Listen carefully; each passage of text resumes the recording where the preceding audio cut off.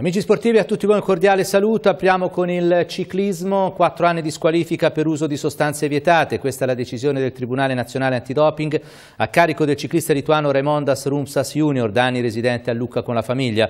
La squalifica terminerà il 22 ottobre 2021, considerando anche il periodo di sospensione cautelare dall'attività sportiva ufficiale. Il 23enne Rumsas era stato trovato positivo ad un ormone della crescita in un controllo fuori gara effettuato il 4 settembre scorso a Capannori. Per i motori le incertezze regolamentari relative alle nuove norme sull'installazione dei nuovi serbatoi di sicurezza e problemi organizzativi hanno costretto la scuderia Balestrero di Lucca a rimandare il Rally del Carnevale, 37esima edizione che era in calendario il 24 e 25 febbraio. Ora si sta lavorando per trovare una data più favorevole che potrebbe essere il 10 e 11 marzo, ma si stanno aprendo anche opportunità in periodi inusuali per la corsa versiliese. Siamo alla Lucchese, la, il derby con il Livorno ha lasciato, ha lasciato strascichi anche sul piano eh, regolamentare. Il Lopez, furioso anche a ragione di Lucchese Livorno, è stato sanzionato dal giudice sportivo con la squalifica di due giornate che impedirà al tecnico rossonero di guidare la squadra domenica prossima a Monza e nella successiva gara interna con l'Arezzo. Beh, qualcuno ha scritto dopo il danno la beffa e forse non ha torto. In effetti la direzione di gara del signor Capone di Palermo è stata perlomeno discutibile e quel rigore concesso agli Amaranto quasi allo scadere del primo tempo non è proprio andato giù a nessuno, tantomeno a Lopez. E tra l'altro un turno se l'è beccato anche a Rigoni che era in diffida che è stato ammonito. Intanto, sulla scia della bella prova fornita contro la capolista, il cinquantenne tecnico romano ha già iniziato a preparare la trasferta di Monza. Al Brianteo dovremo vedere all'opera per la prima volta il tandem Fanucchi-Shekilazze che noi definiamo dei sogni. Il fantasista lucchese alle spalle del velocissimo georgiano autorizza a sperare in grandi cose. Ancora da valutare le condizioni fisiche di Mario Merlonghi, uscito dopo pochi minuti per un trauma distorsivo al ginocchio sinistro nel derby di lunedì sera. Ci vorrà una risonanza magnetica per saperne di più. In mediana scatta l'emergenza esperienza ed è proprio a centrocampo che il direttore sportivo Bedio sta cercando rinforzi adeguati e di spessore. I nomi di Bellemo, della Spal e di Pederzoli del Piacenza sono in primo piano, anche se lo stesso Bedio smentisce, ma qualcuno arriverà, sicuro. In tal senso la Lucchese potrebbe avere a breve un nuovo centrocampista, secondo quanto abbiamo raccolto anche da fonti ferraresi. Da Ferrara i rossoneri sarebbero vicini ad Alessandro Bellemo, il classe 95, nativo di Chioggia ed ex fan di proprietà della SPAL, fisico statuario, 1,84 per 82 kg, agisce da centrale della linea mediana e potrebbe rappresentare davvero il giusto rinforzo nel settore nevralgico del campo. Ancora una notizia di calcio legata al campionato di Serie C, si è giocato recupero eh, Piacenza-Siena con il, la Robus Siena che ha vinto per 2-1 sul campo del Piacenza, al Siena che sale solitario al secondo posto a 43 punti, a 7 punti di distacco dalla capolista Livorno, mentre il Piacenza rimane a 26. La Federazione Italiana Sport Rotellistici ha comunicato gli orari definitivi della Final 8 di Coppa Italia e in generale di tutte le partecipanti alle tre Coppe Italia che si giocheranno a Follonica dal 23 al 25 febbraio. Nei quarti di finale di Coppa Italia di A1, in programma venerdì 23 febbraio, il Forte dei Marmi affronterà il Trissino alle ore 17. A seguire alle 19 il Viareggio, il CGC Viareggio scenderà in pista contro il Breganze. Sabato 24 si giocheranno le semifinali ricordando che in quella delle ore 21 potrebbe esserci il derby tra CGC Viareggio e Forte dei Marmi. Gilari Giamali del gruppo podistico Parco Alpi Apuane ha confermato la propria forza, una straordinaria continuità di rendimento.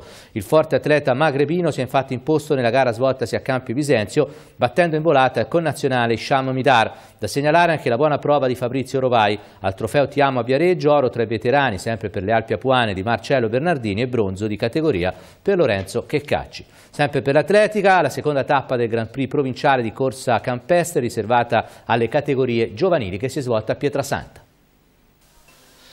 Grande successo per la seconda tappa del Grand Prix provinciale di corsa campestre 2018 all'impianto Falcone Borsellino di Pietrasanta.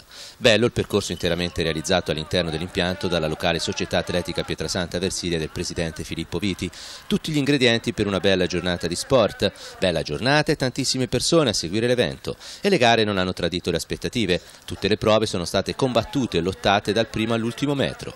Tre cadetti ha vinto Tommaso Giannini della Virtus Lucca. Ottime le conferme degli atleti atleti del Pietrasanta, Nicola Politi secondo, Leonardo Landucci, Alessandro Politi, ben piazzato anche Andrea Rutili.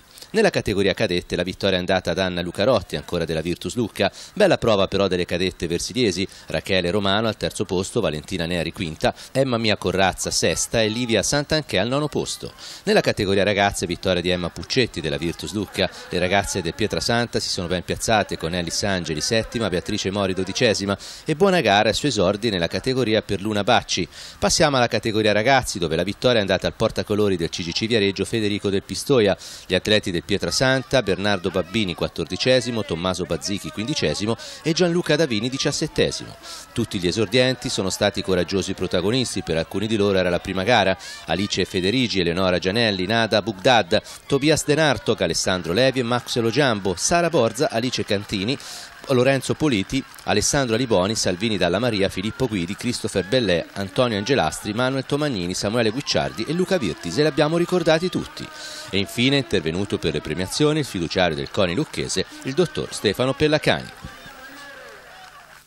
Siamo al tennis, il circolo tennis Lucca si conferma con le sue 24 squadre come una delle società più attive della regione toscana. Confermata anche la partecipazione al massimo campionato a squadre federale di A1 femminile, promozione raggiunta nel 2017 e campionato che aveva inizio nel mese di settembre del 2018. Verrà schierato il gruppo storico con Giulia Remondina e le tre giocatrici del vivaio, Jessica e Tatiana Pieri e Jasmine Paolini, oltre all'ingaggio conclusosi in questi giorni di Alice Matteucci di Pescara. Con questa formazione il circolo lucchese può ambire molto in alto e comunque sempre alla ricerca di uno sponsor che affianchi i soci del circolo nel supportare finanziariamente questa importante attività. La pallavolo, l'ultimo acuto, ha ridato vigore alla Fonte Viva Pallavolo Massa, un successo che vale doppio perché i due punti colti con Castellana tornano utili per la seconda fase, una vittoria che pesa moltissimo per il morale e le sicurezze di una squadra che stava attraversando un momento difficile. Adesso la pausa del campionato e poi dal 4 febbraio il via alla seconda fase. La palestra Gaber di Lido di Camaiore ha ospitato i campionati di ritmica 2018 con la tappa di andata della Serie D Silver, dove la Gym Star di Capannori si è messa in particolare evidenza meritando due bronzi, conquistati nelle categorie allieve dalle frizzanti Elisa Cipriani, Angelica Coltelli e Ashley Giuffrida, allieve LC, e dalle determinate Alissa Beltrami, Anna Genovali del Debbio, Martina Francesconi, Martina Polloni e Laria Riccomini nell'allieve LB. Ed è tutto anche per quanto riguarda la pagina sportiva del TG Noi, vi ringrazio per l'ascolto, dopo una breve pausa il TG prosegue con la terza ed ultima parte.